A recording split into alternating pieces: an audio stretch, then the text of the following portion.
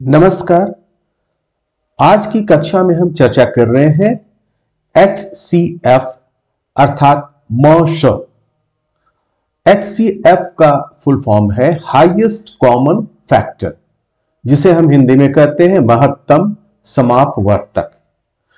तो सबसे पहले हम इस दो शब्द को समझने की कोशिश करते हैं, महत्तम समापवर्तक शब्द को। तो समापवर्तक का अगर हम संधि विच्छेद करें तो ये हो सकता है सम और ये अपवर्तक।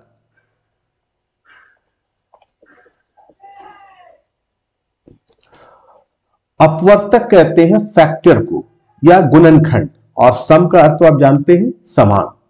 और महत्तम मतलब सबसे बड़ा हाईएस्ट हम दो या दो से अधिक संख्याओं का मौसा निकालते हैं, है ना? और वो मौसा क्या होता है? उन दोनों संख्याओं का उन दोनों संख्याओं में जो आ, समान गुणनखंड है फिर से समझे? दो या दो से अधिक संख्याओं में जो समान आ, अपवर्तक होते हैं समान फैक्टर होते हैं और उनमें से जो सबसे बड़ा होता है वो मौसा या महत्तम समापवर्तक कहलाता है। तो इसे पहले और अच्छी तरह से हम समझने की कोशिश करते हैं, कुछ उदाहरण लेते हैं। तो एक उदाहरण हमने लिया है चार और चौदह का मौसम ज्ञात करें। तो ये कॉन्सेप्ट है, वास्तव में मौसम है क्या? तो चार का अपवर्तक तो चार का अपवर्तक यानी किस, किन किन संख्याओं से चार में भाग लगेगा? तो एक तो होगा ये एक फिर दो, और ये तीसरा होगा चार। और चौदह का देखते हैं, इसमें भी एक तो होगा ही। उसके बाद दो, इसके बाद सीधे आ जाएगा सॉरी, इसके बाद सात आएगा और फिर आएगा चौदह। तो अब हम देख रहे हैं कि चार और चौदह का समापवर्तक कौन कौन सा है, जो दोनों में है। ऐसे अपवर्तक जो दोनों में है। तो यहाँ देख रहे हैं, एक है, एक तो है, उसके बाद दो है। कोई और है? नहीं। तो ये जो चार और चौदह का समापवर्तक है, इसमें जो सबसे बड़ा कौन सा है? तो सबसे बड़ा यहाँ पर दो है। तो यही हमारा चार और चौदह का महत्तम समावर्तक या मौसो या एचसीएफ जो कहें, वो होगा। चलिए एक और उदाहरण लेते हैं और यहाँ हमने तीन संख्याएँ ली है। छ दस और बारह का मौसम ज्ञात करें। आ, ये एक और उदाहरण इसलिए लिए है कि थोड़ी सी समझ और विकसित हो। तो यहाँ छह का अपवर्तक करेंगे तो छह का अपवर्तक क्या होगा? यानी छह में किन किन संख्याओं से भाग लग सकता है? एक दो तीन और छ से। अब दस तो दस में लग सकता है भाग, एक से, दो से, पाँच से और दस से। अब बारह बारह में एक से लगेगा, दो, तीन, चार छ और फिर बारह। अब फिर हम देखते हैं कि इन तीनों में कौन से समापवर्तक है जो तीनों में है सॉरी ये सम आ, एक आकार यहाँ पर छूटा हुआ है। यहाँ भी एक आकार छुटा हुआ है आप ध्यान देंगे। टाइपिंग के क्रम में छूट गया है। तो छ दस और बारह का जो समापवर्तक है यानी जो दोनों में अपवर्तक है वो कौन कौन सा है? तो एक तो देखिए, एक है और फिर ये दो है। और कोई है? नहीं। यहाँ तीन है, यहाँ भी तीन है, लेकिन ये दस के अपवर्तक में तीन नहीं है। तो इस तरह से हम देख रहे हैं कि छह, दस और बारह का जो समापवर्तक है, वो सिर्फ़ एक और दो है। तो इनमें से सबसे बड़ा कौन है? दो है। तो यही हमारा मौसो या महत्तम समापवर्तक होगा। तो आशा है कि ये कॉन्सेप्ट आपको समझ में आ गया होगा कि मौसम क्या होता है। अब चलिए हम देखते हैं कि इनकी विधियाँ क्या है। एच ज्ञात करने की क्या विधियाँ है। अभी जो कॉन्सेप्ट हमने देखा था तो इसमें क्या है कि इस तरह से भी हम निकाल सकते हैं, लेकिन ये सिर्फ़ छोटी संख्याओं का हम निकाल सकते हैं। जब बड़ी संख्याएँ मिलेंगी तो इस तरह से निकालना संभव नहीं है। बड़ी संख्याएँ या ज़्यादा संख्या। यहाँ तो तीन संख्याएँ हमने ली है, चार भी हो सकती है, छह भी हो सकती है तो उन स्थितियों में निकालना मुश्किल होगा। तो अब हम देख रहे हैं कि विधियाँ क्या क्या है। तो पहली विधिया है, विधि है अभाज्य गुणनखंड विधि, है ना? और दूसरा है भाग विधि। तो चलिए एक एक करके इस इन विधियों को समझते हैं कि ये विधि किस तरह से काम करता है। तो पहला हमने लिया है अभाज्य गुणनखंड विधि। तो इस विधि से एक प्रश्न हम हल करेंगे, चार और दस का मौसम ज्ञात करें। तो सबसे पहले चार का अभाज्य गुणनखंड। तो चार का अभाज्य गुणनखंड हो जाएगा एक सॉरी एक गुना दो गुना दो। और इसे हम लिख सकते हैं, एक गुना दो का वर्ग। चलिए, अब दस दस को हम लिख सकते हैं, एक गुना दो, गुना पाँच। इसको फिर आगे फिर से लिख लेते हैं इसके नीचे तो सुविधा होगी। एक गुना दो, गुना पाँच। अब देखिए, चार और दस का सीधे हम समापवर्तक निकाल रहे हैं। तो ये हम देखेंगे कि इन दोनों संख्याओं का जो अभाज्य गुणनखंड है, उसमें कॉमन क्या है? जो दोनों में है। तो हमें सिर्फ़ दिख रहा है एक और दो। और इसमें जो सबसे बड़ा है है ना? एक और दो है तो एक, देखिए, एक है तो एक तो हमने लिख लिया गुना अब इसको देख रहे हैं। दो है तो दो का घात यहाँ पावर दो है और दो का घात यहाँ एक है। तो जो लोएस्ट पावर होता है, उसी को हम लेते हैं। तो लोएस्ट एक पावर वाला है तो ये हो गया दो। तो ये हमारा महत्तम समापवर्तक हो जा रहा है दो। एक बार फिर से आप समझ लें इसे। तो चार का अभाज्य गुणनखंड हम लिख सकते हैं, एक गुना एक गुना तो ये हम लिखेंगे इसको एक गुना दो का वर्ग। और दस का अभाज्य गुणनखंड होगा एक गुना दो गुना पाँच। अब हम देखेंगे कि इन दोनों में कॉमन क्या है? तो एक है तो एक तो हमने लिख लिया। अब है दो। तो दो में यहाँ है दो का घात दो है, यहाँ दो का घात हम एक एक एक है। कुछ नहीं है इसका मतलब? एक है। तो जो लोएस्ट है, उसी को हम चुनते हैं। तो यहाँ लोएस्ट दो का घात एक है। दो का घात एक मतलब दो है। तो ये से हम लिखते हैं यहाँ। तो एक गुना दो हो गया दो। एक और उदाहरण लेते हैं। बीस का अभाज्य बीस, पच्चीस और तीस का मौसम ज्ञात करें। तो बीस का अभाज्य गुणनखंड लेंगे। तो ये होगा एक गुना दो गुना दो, गुना पाँच, है ना? तो इसे हम लिख सकते हैं एक गुना दो का घात दो गुना पाँच। अब पच्चीस का गुना, अभाज्य गुणनखंड करेंगे तो ये होगा एक गुना पाँच गुना पाँच। तो ये हम इस तरह से लिख सकते हैं, एक गुना पाँच का वर्ग। और अब है तीस का अभाज्य गुणनखंड तो इसे हम लिख सकते हैं तीस का अभाज्य गुणनखंड जो होगा आ, उसे हम कैसे लिख सकते हैं? तो आ, एक मिनट थोड़ा सा।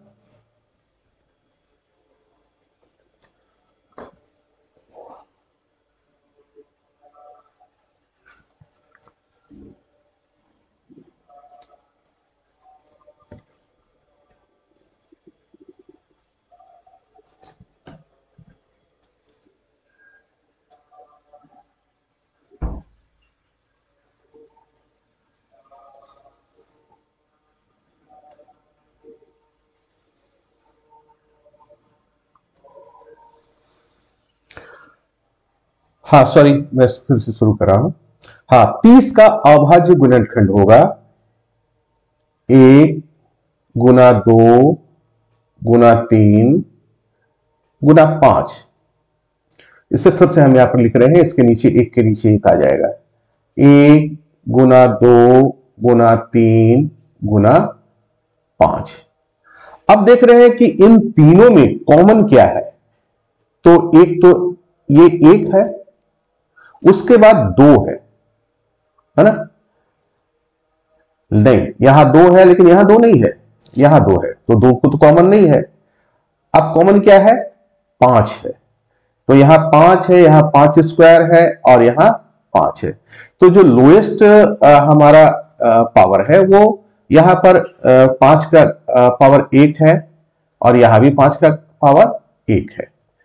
तो जो लोएस्ट है, उसी को हम चुनते हैं। इससे पहले वाले प्रश्न में भी हमने देखा था।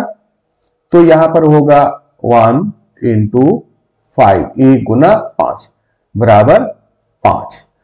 तो 20, 25 और 30 का जो मौसा आया वो भी आ, वो आया पाँच। तो ये था हमारा अभाज्य गुणनखंड विधि। तो इसमें हमने तीन प्रश्न लिए। है ना? तो ये आपको आ, तीन दो प्रश्न लिए हैं। तो इससे आपको समझ में आ गया होगा। अब अगला विधि देखेंगे। वो है भाग विधि। भाग विधि में कैसे करते हैं? तो भाग विधि में यहाँ दो प्रश्न है। पाँच और पच्चीस का महत्तम समापवर्तक ज्ञात करें, है ना? तो हम क्या करते हैं? छोटी संख्या से जो बड़ी संख्या है उसमें भाग देते हैं। तो छोटी संख्या है पाँच है और ये पच्चीस है। तो पाँच से पच्चीस में हम भाग देते हैं। तो पाँच पचे पच्चीस। तो ये हमारा शेषफल आ गया शून्य। तो ये पाँच से पच्चीस में पूरा पूरा भाग लग गया है। तो इसलिए जो यहाँ पर मौसा होगा, पाँच और पच्चीस का तो वो होगा पाँच। ये वाला पाँच, है ना, जिससे भाग दे रहे हैं। ठीक है? अब एक और प्रश्न लेते हैं। इसमें हमने तीन संख्याओं को लिया है। पाँच, पंद्रह और बीस। तो जब दो से अधिक संख्याएँ रहे तो पहले हम दो का हम मौसम निकालेंगे। ठीक है? अब उस मौसम और और ये तीसरी संख्या का फिर मौसम निकालेंगे। चलिए, इसे हम जब सॉल्व करते हैं तो आपको और क्लियर होगा। तो दो छोटी संख्या हमने ली है पहले पाँच और पंद्रह। तो पाँच से पंद्रह में भाग देते हैं। पाँच से पंद्रह में। तो पाँच तिहाई, पंद्रह। तो पाँच और पंद्रह का, है ना? पाँच और पंद्रह का जो मौसा आया, वो आ गया पाँच। तो यहाँ हम लिख लेते हैं पाँच और पंद्रह का मौसा आ गया पाँच। तो हमें तो पाँच, पंद्रह और बीस का निकालना है। तो अब क्या करेंगे? इस पाँच और बीस का निकालेंगे। तो फिर से हम भाग देंगे पाँच से बीस में। ये हाँ गौर करें कि ये जो मौसा आया है, इससे हम फिर तीसरे में भाग दे रहे हैं। पाँच से बीस में। तो पाँच चौके बीस। ये शेषफल शून्य आ गया। तो अब जो हमारा तीनों का तीनों संख्याओं का जब हम मौसा की बात करते हैं, पाँच, पंद्रह और और, बीस का मौसम। तो ये जो लास्ट में आया ये, है ना यही हमारा तीनों संख्याओं का मौसम यानी महत्तम समावर्तक या एचसीएफ हुआ। अब एक और हम उदाहरण लेते हैं और इसमें हमने चार संख्याएँ ली हैं। तो चार संख्याओं का मौसम हम कैसे ज्ञात करेंगे? तो इसके लिए हम पहली दो संख्याओं का मौसम पहले ज्ञात करेंगे, फिर दूसरी दोनों संख्याओं का मौसम ज्ञात करेंगे। और फिर दो जो दोनों मौसा आया है, उसका मौसा ज्ञात करेंगे। तो हमें चारों संख्याओं का मौसा मिल जाएगा। तो पहले हम चार और छह का मौसा ज्ञात करते हैं। तो इसके लिए हम चार से छह में भाग देंगे। चार से छ में, चार एका चार, ये आ गया दो। अब दो से फिर चार में देंगे हम, है ना? यही प्रोसेस है। हम जब तक ये शेषफल शून्य नहीं हो जाता है, तब तक भाग देते जाते हैं। तो चार से जब छह में हमने दिया तो देखिए शेषफल यहाँ पर दो आया है। तो इस शेषफल से फिर हम इस चार में भाग देंगे। तो दो दुनी चार। अब शेषफल शून्य आ गया। तो चार और छह का मौसा हमें दो मिल गया है। यहाँ लिख लेते हैं। चार और छ का मौसा बराबर दो। अब छ और आठ का हम लोग मौसा निकालेंगे। सॉरी आठ और बारह का। आठ और चार और छह का तो हमने निकाल दिया, अब आठ और बारह का निकालेंगे। तो आठ से हम बारह में देंगे भाग। आठ का आठ, और ये आ गया चार। देखिए, शेषफल चार आया तो अब इस शेषफल से फिर हम आठ में भाग देंगे। तो चार दूनी आठ। तो अब शेषफल शून्य आ गया। इसका इसका अर्थ है कि आठ और बारह का जो मौसा है, वो चार हुआ। यहाँ फिर लिख लेते हैं। आठ और बारह का मौसा बराबर चार। अब देखिए चार और छह का मौसम हमने दो दो निकाला है, आठ और बारह का मौसम हमने चार निकाला है। अब इन दोनों मौसम का मौसम निकालेंगे, तब हमें चारों संख्याओं का मौसम यानी एस मिलेगा। तो अब क्या करेंगे कि हम दो से चार में भाग देते हैं। दो दुनी चार, और शेषफल शून्य आ गया।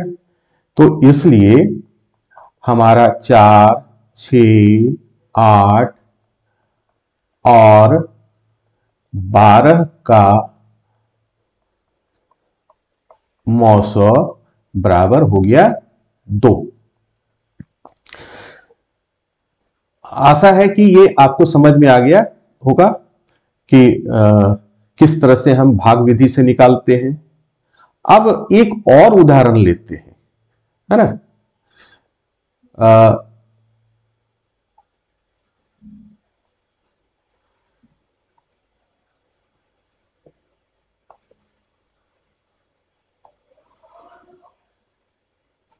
हम्म।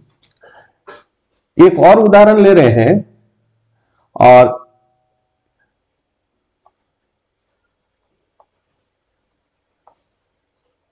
हम्म। और इसमें हम मौसम ज्ञात कर रहे हैं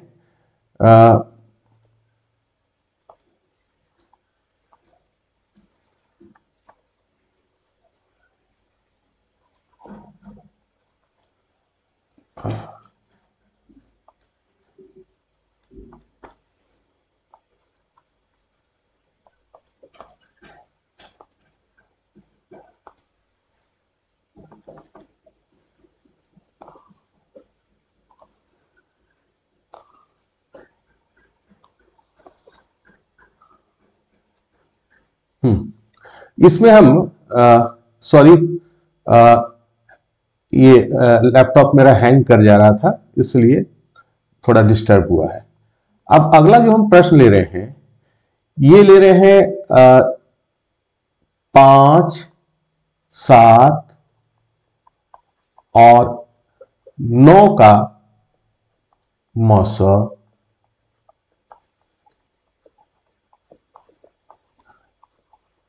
ज्ञात करें। अब देखिए, यहाँ फिर क्या करेंगे? इन दोनों का पहले लेंगे, पाँच और सौ तक सौ का सात का मौसम निकालेंगे और फिर जो मौसम आएगा, उससे फिर नौ का उस मौसम और नौ का मौसम निकालेंगे। तो हम पाँच से सात में देते हैं भाग। पाँच से सात में पाँच का पाँच। और ये शेषफल दो आया, अब इस दो से फिर पाँच में देंगे। तो दो दुनी चार शेषफल एक आया। एक से फिर हम किसमें देंगे भाग? दो में देंगे। तो एक दूनी दो। और शेषफल शून्य हो गया। तो इस तरह से पाँच और सात का जो मौसम आया, वो आया एक। यहाँ लिख लेते हैं। पाँच और सात का मौसम बराबर एक। ठीक है? अब इस एक और नौ का मौसम तो एक से नौ में ये भाग देने की ज़रूरत नहीं थी, लेकिन फिर भी समझाने के लिए मैं भाग दे रहा हूँ। क्योंकि जब भी एक है मौसम और कोई और संख्या है तो उसका मौसम फिर एक ही होगा। तो एक नवा नौ, शून्य। तो यहाँ पर पाँच, सात और नौ का महत्तम समापवर्तक ये हो गया एक। तो आशा है कि इतने उदाहरणों के बाद आपको एचसीएफ की पूरी समझ आ गई होगी कि एचसीएफ यानी मौस यानी महत्तम समापवर्तक क्या होता है और इसको निकालने की विधियाँ क्या है। हमने उदाहरण लिए उदाहरणों में छोटी छोटी संख्याएँ इसलिए दी है कि आपको अच्छी तरह से प्रोसेस समझ में आ जाए। इन्हीं प्रोसेस से आप बड़ी संख्याओं का भी मौसम निकाल सकते हैं। धन्यवाद।